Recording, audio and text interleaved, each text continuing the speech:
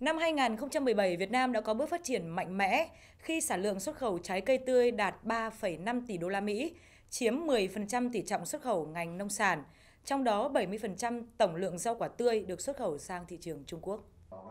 nhằm hỗ trợ doanh nghiệp Việt Nam, đặc biệt là các doanh nghiệp xuất khẩu trái cây, rau quả tiếp cận tốt hơn thị trường Trung Quốc, Cục xúc tiến thương mại Bộ Công Thương và Tổ chức Hợp tác Phát triển Đức GIZ đã phối hợp xây dựng bộ cẩm nang hướng dẫn xuất khẩu vào thị trường Trung Quốc cho sản phẩm trái cây tươi. Tại hội thảo, đại diện Cục xúc tiến thương mại cho biết, tài liệu cẩm nang hướng dẫn xuất khẩu vào thị trường Trung Quốc cho sản phẩm trái cây tươi được nghiên cứu, khảo sát, biên soạn từ các chuyên gia trong nước và quốc tế nhằm giúp doanh nghiệp Việt Nam có thêm nhiều thông tin hữu ích về thị trường Trung Quốc. Tham dự hội thảo, nhiều doanh nghiệp đánh giá cao thông tin mà các cuốn cẩm nang đề cập.